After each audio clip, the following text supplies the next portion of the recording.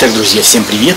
И с вами я, Михаил Шилов, автор проекта motivara.ru а, Я продолжаю целый курс а, а, видеолекций по разминке перед работой, по постановке удара и работе на снаряд.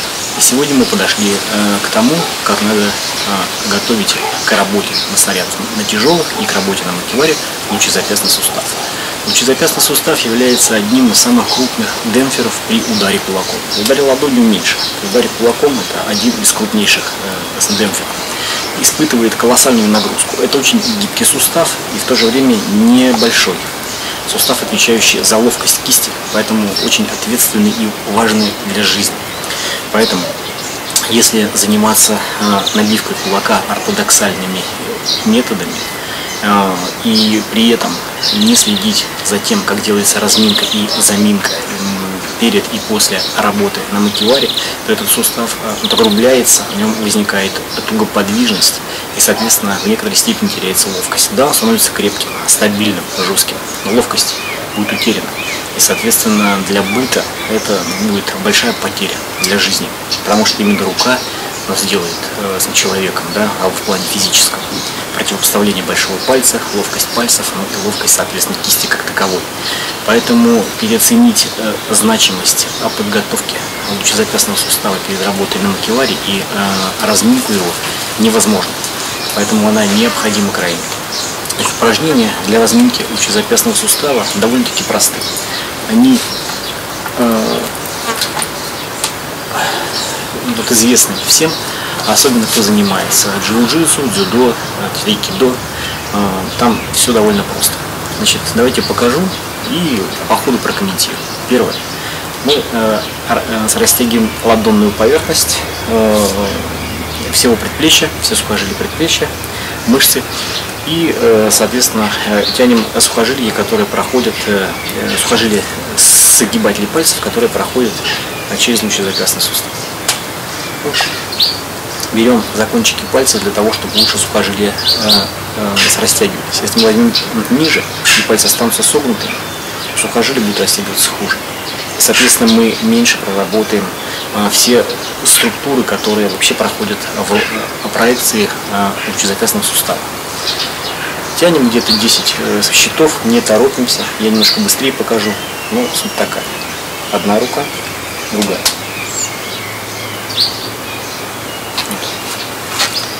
Теперь то же самое делаем в обратную сторону. Кажется то же самое, но на самом деле прорабатывается чуть иначе.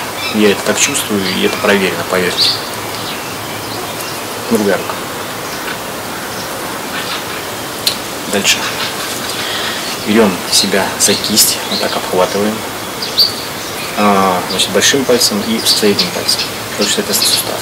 Локоть опускаем строго вниз, другой локоть опускаем строго вниз кисть давит на, э, ладонной поверхностью на тыльную и локти вниз опускаем. Вот таким вот образом. Важно, чтобы не было мимо, вот так вот. Так. Чтобы кисть давила сверху. И загибаем. Другая рука. Охватываем хорошо.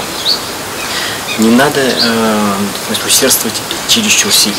То есть не должно быть сильного болевого э, синдрома. Легко должно быть. Все должно делаться легко легкое, чувство легкой боли. Ее почти нет. Даже приятно должно быть. Такой легкий мазохизм. На себя ладонь, обхватываем ее другую ладонь, две руки, ладонью берем себя за большой палец. И руку выворачиваем а ладонью наружу, но если это правая рука, то против часовой стрелки. Вот таким образом. И ну, пускаем руку вниз, а локти разводим в стороны. Тянь. Левая рука, правая рука. Правой рукой захватываем за большой палец. Сам большой палец правой руки ставим на тыльную поверхность ладони. Выворачиваем руку ладонью наружу левую. Уже сейчас по часовой стрелке крутим. И локти разводим в стороны, а руки опускаем вниз. Дальше палец на руке вниз большой направлен. Берем сверху другую руку, сверху, так. И поднимаем руку к колбу. Ладонь развернута наружу в сторону. Большой палец, чтобы смотрел четко вперед. Локти разводим в сторону. Другая рука. Палец вниз, рука сверху. Локти в сторону, руку вверх, пальцами вверх, большой палец направлен четко вперед. Дальше. Не забываем про наше любимое, которое я делал, когда показывал э, и плечевой сустав разминку, и, и локтевой. Руки на себя тыльными поверхностями, соединяем в замок и выворачиваем. Меняем местами, выворачиваем. Вот таким вот образом. Хорошая проработка лучезапястного сустава. У кого ЧВК погибче, можно большим пальцем постараться достать э, до предплечья. Таким образом.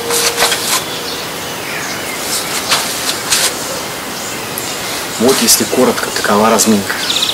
Единственное, что я не сакцентировал, то, что нужно делать. Не надо сразу пытаться связки мышц разминать. Сначала надо все хорошо прогреть. То есть всегда все начинается с растирания. Делаем растирание, довольно продолжительно, довольно продолжительно. И когда сустав горячий, вот тогда и э, суставы и сухожилия, тогда и начинаем разминку как таковую. Вот довольно простой комплекс, довольно быстрый. Его же нужно делать и после работы на макеваре, когда в суставе создаются компрессии а, а, от ударов. Для того, чтобы эти компрессии снять и запустить туда как можно больше крови, вот, мы делаем то же самое, но только намного быстрее. И, э, то есть интенсивность меньше, делаем быстрее, в смысле быстрее по времени, э, раза в 3-4 просто делается ну, вот таким вот образом. Потянули, потянули, потянули. Буквально по 2-3 по секунды, немножко быстрее делаю.